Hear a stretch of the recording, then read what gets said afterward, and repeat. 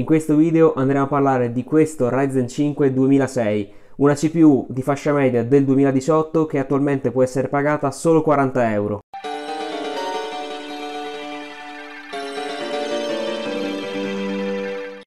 Ciao ragazzi, ciao a tutti e bentornati qui sul canale del vostro Nintendo Pazzo. Oggi siamo qui con questa um, recensione, diciamo, nel 2023 eh, di questo Ryzen 5 2006. CPU molto famosa perché, insomma, è stata uh, super popolare, diciamo, ha spopolato proprio nel 2018-2019 perché era appunto una soluzione diciamo relativamente economica che permetteva appunto di giocare bene a tutti i titoli mh, allora presenti sul mercato ma anche oggi insomma eh, vi spoilerò subito se la cava comunque relativamente bene e appunto costando quei 130-140 euro eh, all'epoca e quindi insomma si presentava sicuramente come una soluzione eh, diciamo economica ma non troppo e che quindi insomma ancora cioè, aveva anche un po' di prestazioni effettivamente da offrire e in questo video appunto andremo a vedere come si comporta oggi in applicazioni semi professionali, professionali e ovviamente anche in gaming e andremo a considerare se effettivamente può essere una valida alternativa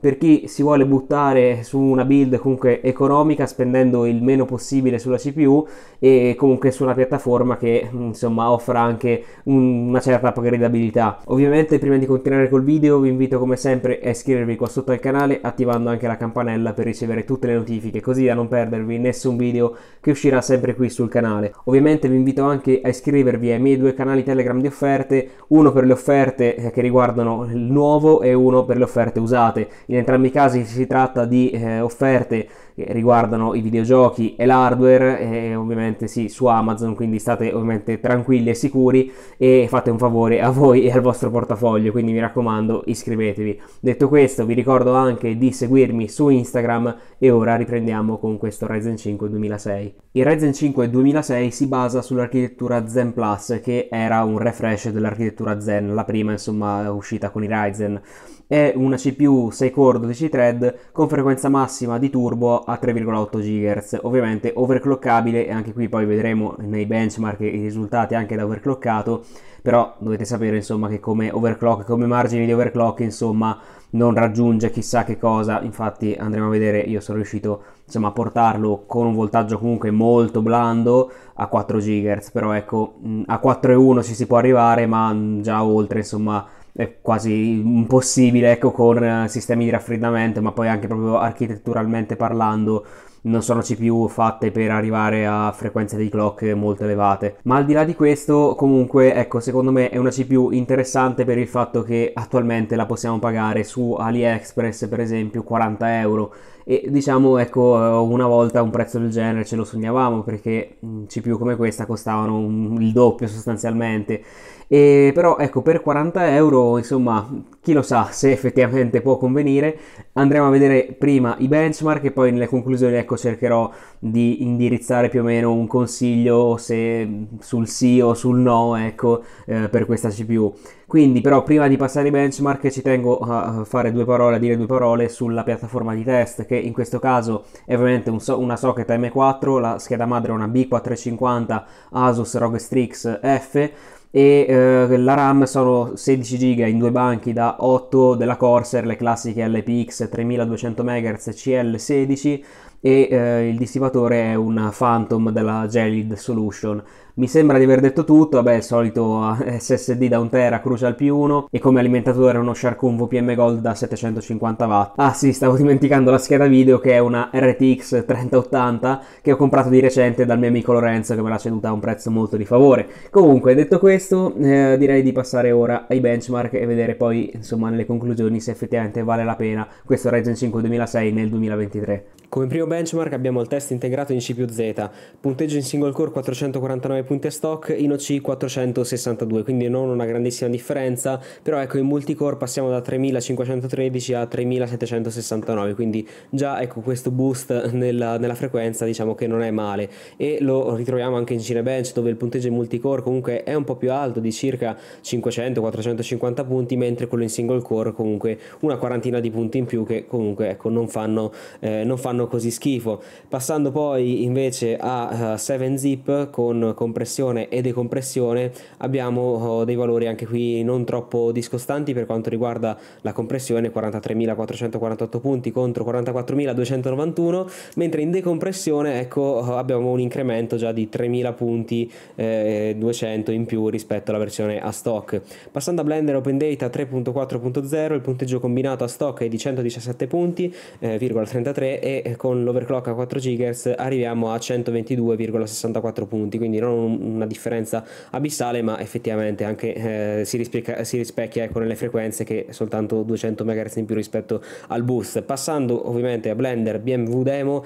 abbiamo un uh, tempo a stock di 292 secondi che viene abbassato a 277 secondi con l'overclock. Cosa molto simile eh, ecco anche in Classroom l'altra demo. A stock abbiamo 683 secondi come tempo di rendering mentre con l'overclock a 4 GHz lo abbassiamo di una trentina di secondi quindi devo dire che comunque non è male anche qua per un overclock alla fine molto blando. Passando a Corona 1.3 benchmark a stock abbiamo un tempo di rendering di 167 secondi mentre in overclock a 4 GHz lo abbassiamo anche qui a 160 secondi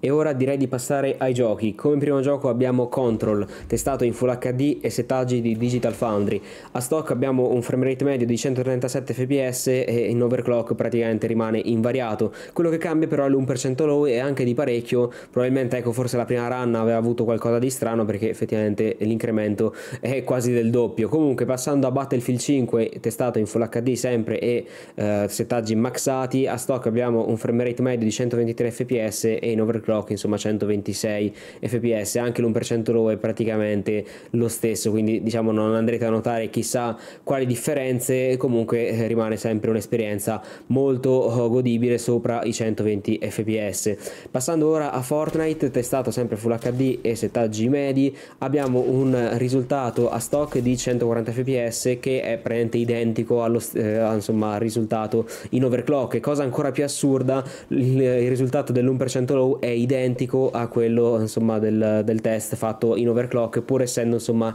eh, due game completamente diversi e considerando ecco anche l'overclock stesso del, della CPU quindi qui davvero ecco su Fortnite almeno con questa CPU con questo overclock insomma non cambia molto da, dalla versione a stock. Passando ora a Cyberpunk 2077 testato sempre in Full HD e settaggi di Digital Foundry. Qui vediamo un piccolo incremento comunque eh, nell'average e anche nell'1% low perché passiamo da 70,7 fps a 76 fps con l'overclock e un 1% low di 49,7 fps per l'1% low dello stock e eh, che viene passato ecco a 54 fps nella versione overclockata. Quindi anche qui devo dire non è male Cyberpunk ovviamente è anche un gioco molto più intensivo vedrete anche dal grafico. Passando ora a Death Stranding testato sempre in Full HD settaggi però maxati eh, abbiamo un risultato a stock molto simile a quello oh, dell'overclock e anche anzi in 1% low a stock diciamo abbiamo un risultato un pelino più alto. Questo ovviamente è anche riconducibile probabilmente al margine di errore insomma e ai, alle due run diverse insomma di quando ho registrato uno e quando ho registrato l'altro. Però insomma alla fine ecco qui non cambia chissà quanto ecco le prestazioni ma ovviamente ecco anche l'overclock diciamo è molto marginale in questo caso perché alla fine abbiamo aumentato praticamente 200 MHz in più rispetto alla versione insomma a stock. E passando ora a Resident Evil 2 Remake remake testato ovviamente Full HD e settaggi alti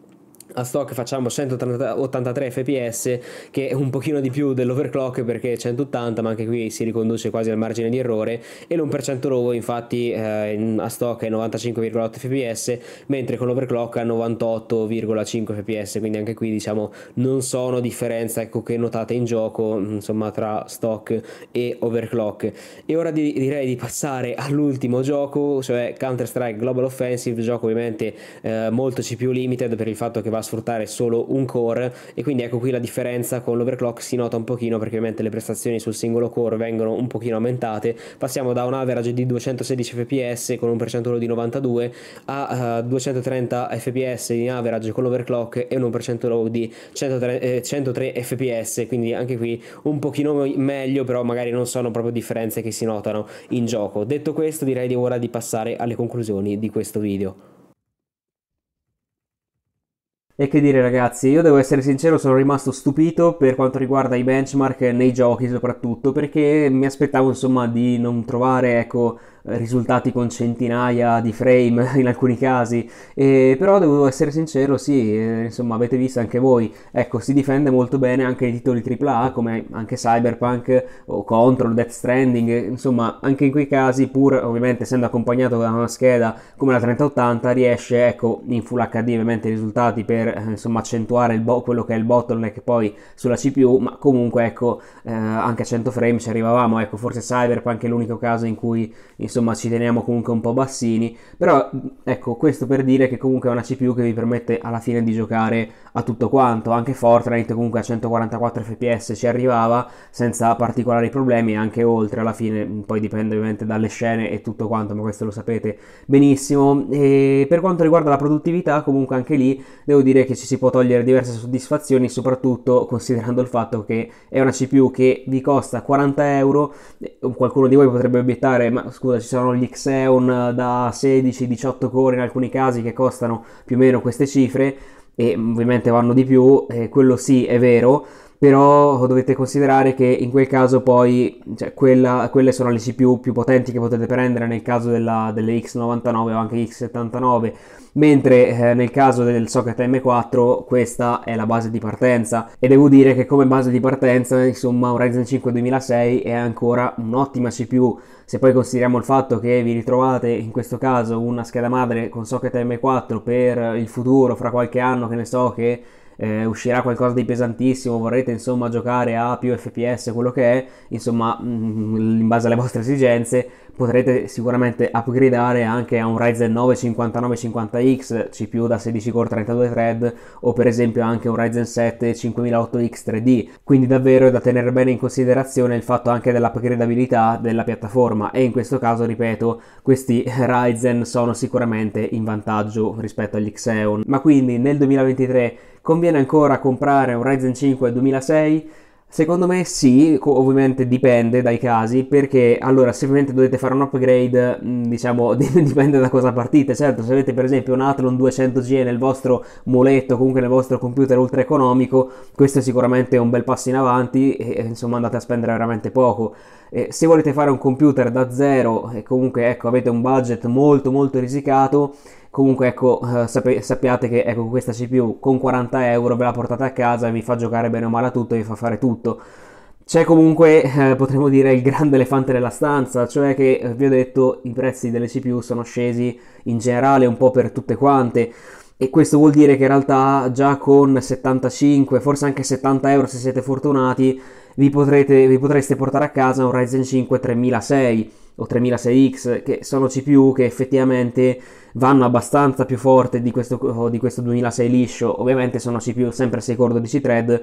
però ovviamente l'incremento dell'IPC non è cosa da poco, magari anche nelle frequenze riuscite anche a boostare qualcosina in più. Quindi devo dire, magari se volete spendere quei 30 euro in più, 40 euro in più a dire tanto, potrebbe insomma valere la pena anche considerare uno di quei modelli. O magari anche lo stesso Ryzen 7 2700X che era eh, diciamo il top di gamma di, quella, di questa generazione che è un 8 core 16 thread lo si può trovare intorno ai 60-65 euro. Quello poi dipende insomma eh, da quello che fate. Se avete bisogno di più potenza in multicore o magari più potenza in single core. Comunque tutto questo discorso per dire che eh, basta spendere effettivamente poco di più per trovare tante altre alternative che comunque ecco sono da tenere in considerazione soprattutto se avete insomma quel pochino di budget in più per permettervelo, perché eh, ecco ci sono poi per esempio anche Ryzen 7 3007X, insomma CPU 8 core 16 thread che va ancora molto bene, e quella anche, anche lì su AliExpress ma anche su Subito eBay la potete trovare intorno ai 110-115 euro, quindi fate un po' i vostri calcoli se vi conviene o meno, però secondo me ecco se avete questo budget e insomma non volete spendere oltre, ecco per 40 euro almeno adesso l'alternativa c'è ed è un bel Ryzen 5 2006.